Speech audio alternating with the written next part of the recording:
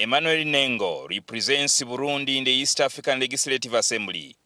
He was emotional and spoke with the pain in his heart on what has befallen his country. Uh, when I saw that in my country there are people, persons uh, losing uh, their life, some are arrested. For me, it, it is not the, it's not good for me. Nengo narrated his ordeal during a sitting of the Regional Assembly at the East African Community Headquarters in Arusha, Tanzania. He narrated how his family members fled Burundi. Myself, I have many members of my family which, uh, who had fled to uh, Rwanda and the other place in our region. So, for me, it's not a joke.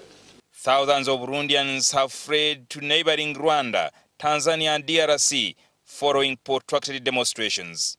The violence erupted in opposition President Pierre Nkurunziza's quest to seek a third term in office.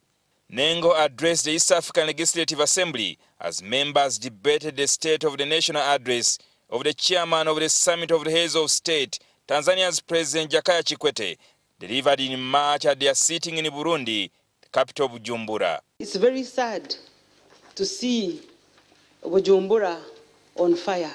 When we see Bujumbura on fire or Burundi on fire, it is like seeing Kampala on fire. If we want to be relevant, we must respond to the needs of the people. And now we are being called to, to respond to the needs of people of Burundi.